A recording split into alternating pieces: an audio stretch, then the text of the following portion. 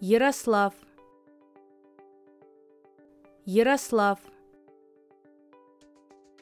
Ярослав Ярослав